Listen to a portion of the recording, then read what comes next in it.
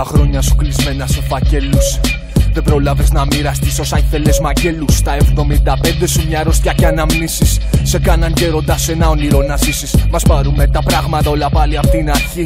Πάμε να ζήσουμε σε μια άλλη εποχή. Εκεί που στα 25 σου φιλόδοξος και νέος. Απ' τη ζωή δανειστικές. Βάρη το χρέος. Κειμένο σε χαρτιά. Είχες πάντα το κεφάλι για να πλουτίζουν οι άλλοι. Ήσουν κι εσύ από τους καλούς τους λογιστές. Φίλος με τους αριθμούς και οι πράξεις σου σωστές. Από αυτούς που το χέρι δεν απλώνουν. Από αυτούς που τα λάθη διορθώνουν. Που ενώ τριγύρω τους δαίμονες χορεύουν. Αυτοί εκεί μονάχα μία δουλεύουν. Και εντολή να είναι το στόμα τους κλειστός σε εκείνους μοιάζει. Ευχαριστώ. Και υποχρέωση όσο πάει και μεγαλώνει.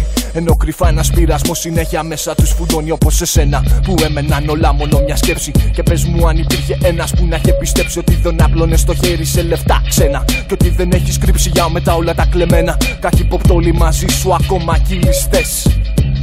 Και αλήθεια αυτές για τη ζωή πάντα τους τίμιου πονάει. Ενώ τους κλέφτες με τύχη τους κερνάει.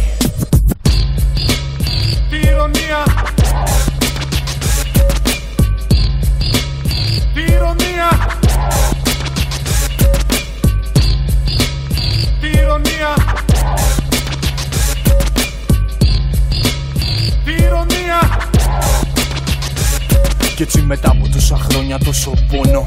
Κι αφού το όνειρο κι αυτός άφησε πάλι τώρα μόνο με μια αρρωστιά Που τα πάντα σου έχει πάρει. Κι αρχίζει ο χάρος στη ζωή σου να φλερτάρει Κάνοντας έτσι να γυρίζουν στο μυαλό σου όλα αυτά που απεφεύγεις για το καλό σου. Και όσα έχει πει θα μένα τώρα στην τροπή.